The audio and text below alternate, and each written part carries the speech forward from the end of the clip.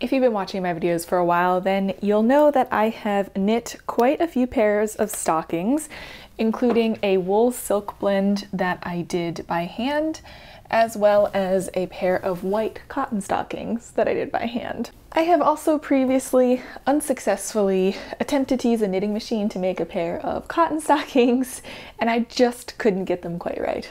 Today, we're going to revisit using a knitting machine to make socks or stockings, this time using a circular sock machine or a CSM, and a big thank you to my patrons for enabling me to purchase one of my dream pieces of machinery. If you watch my video on the history of knitting machines, then you'll know that they were invented in 1589 for knitting stockings.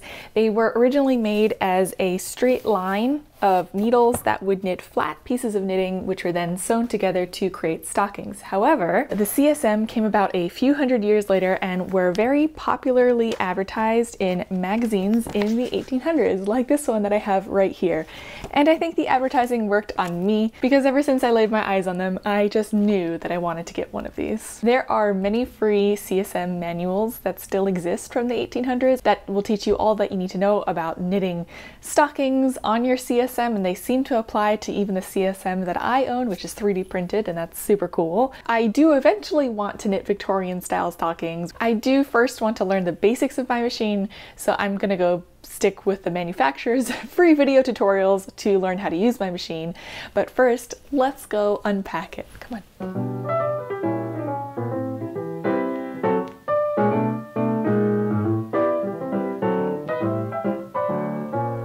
Nutella, do you want to show them what we got? Because I'm very excited about what we got. We're gonna open this together and hopefully try to learn. Oh my god. no, no, no, no, no, no. Off. All right, before I unwrap, I guess I need to pay a little bit of attention to Nutella. Billy up. okay, I'm gonna unpack the box though, okay? Oh my gosh, it's beautiful.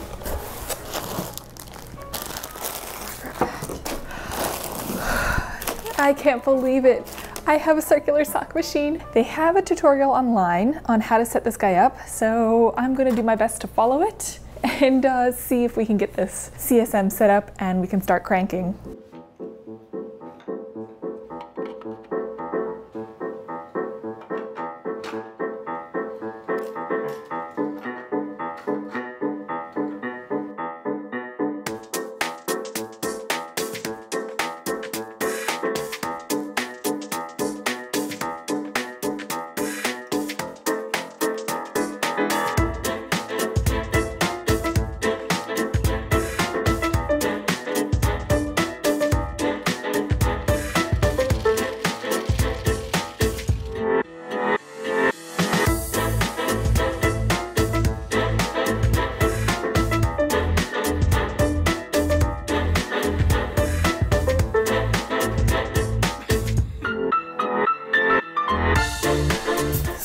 Attempt at a first cast on ever. I'm a little out of breath because I'm so excited.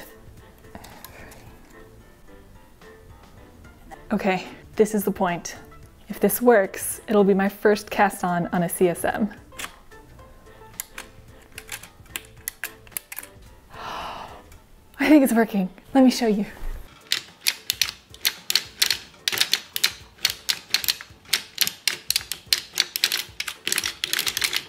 Oh no!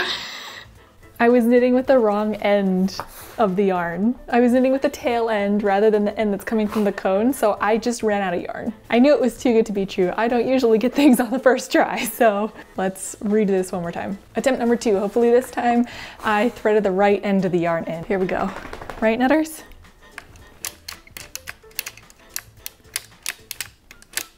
I think I'm doing it. Let's see if I can get to one full row think I look a little maniacal because I'm just so ridiculously happy, but I did it, we did it, it's going. It is so fascinating to watch. Look, come close.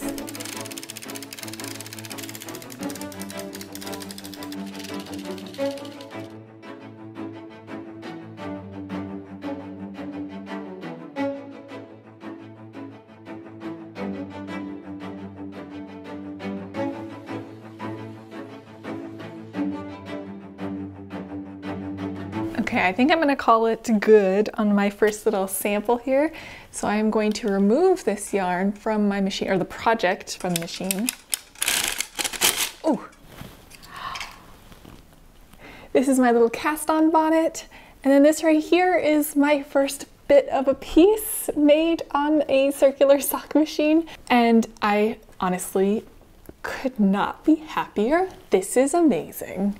I am beyond pleased with how this has worked out so far. What I'm gonna do is I'm gonna go watch the Dean and Bean YouTube channel. They have crank-alongs for a few different things, but I think I'm gonna do their crank-alongs where they do the just the plain socks first. I just wanna make sure that I'm doing everything right. Let's go study some crank-alongs and maybe I will knit my first piece. I, I am back from going through the entire basic sock tutorial. So I have started on basically like the first two or three steps. I got so excited and so flustered, I sweat through the last thing I was wearing. So I went ahead and I changed this. I had to change the cylinder. I had to change my tension and redo my swatch. But now that all of this is done, I think I'm ready to sit down and get cranking on my first sock. Let's get to cranking. I have my iPad right over here with a tutorial right next to me.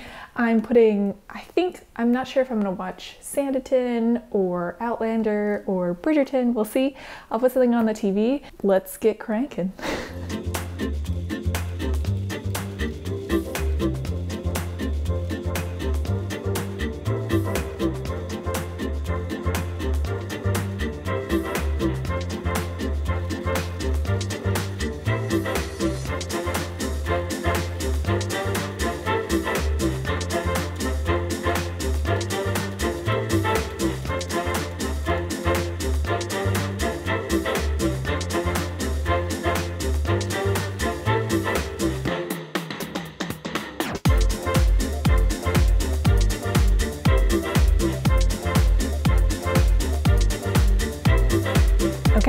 if I have done everything correctly, I should now just crank once around and my sock should come out and off the bottom here.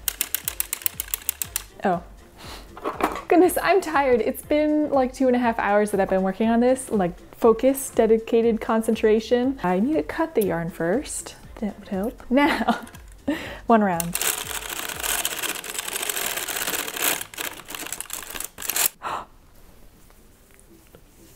A sock. All I need to do is take off the cast on bonnet and sew the toe up with a Kitchener stitch and we have a sock. Okay, now it's been hours, so I'm exhausted. I'm gonna go uh, take a break for the rest of the evening and I will check back to crank out the second sock and we'll see how this pair fits. It looks awesome. I'm just exhausted. My first CSM sock is done. I spent some time yesterday kitchenering the toe together. Here is the join and I think it looks wonderful. One thing I noticed, and that you might notice just by seeing this, is that this sock looks large. And when I try it on, it is it is too big. I did do a tension swatch. I tried to do the calculations correctly, but I think I gave myself a little too much positive ease and a little too much length. Before I crank out a second sock that isn't going to fit me, I wanted to take a moment and reevaluate or readjust what my plan is. I believe I'm actually going to undo this sock and re-crank it but at a later date. I think that this particular sock yarn lends itself best to being ribbed so that the ribbing will kind of come together around my legs. I have been watching ribber videos and a 100% honesty, I'm intimidated. My plans, my immediate plans for the CSM aren't going to require doing ribbing. So I think I might save that for a later date. Now I'm gonna put this sock and yarn aside. I'm gonna bust out my CSM again. I'm gonna try to go a little bit smaller with this. I'm gonna go grab some thinner sock yarn that I have in my stash and redo a tension swatch, redo the calculations, and re-go over making another sock and see if that one fits me any better.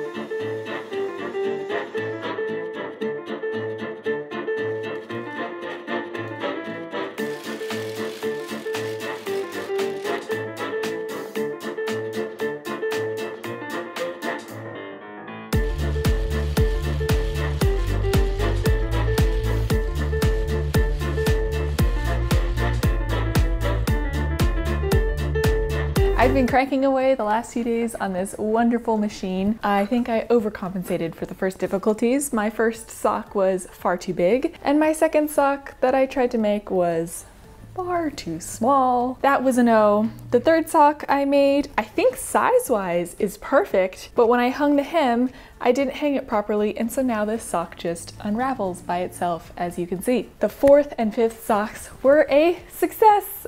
can you see them? I haven't stopped wearing them since I finished them. There they are and I loved making them so much that I decided to make two extra pairs. We have one here, two. Guess who's going to? Of course, my patrons. I hope that they'll enjoy these. I hope that they'll fit. However, I am also thinking about including one more thing. Now that I feel like I have succeeded at making socks and figuring out how to use this machine for socks, I want to see if I can go back to a slightly earlier pattern book and try out one of those patterns. There are some fascinating ones in the books. I could make a circular sock machine knit corset or sweater, cardigan, vest, hat, a whole variety of things, but what I really wanted to try out was a particular bag just because it reminded me very much of the reticule that I worked on. This will not be the last time I'm using the CSM, so please feel free to subscribe because next week I'm going to be using it to make these stockings for my 1890s biking ensemble that I'm going to completely knit and I have been working on for the past few months, but I do think that I still have a few more things to learn. In the meantime, let me go take this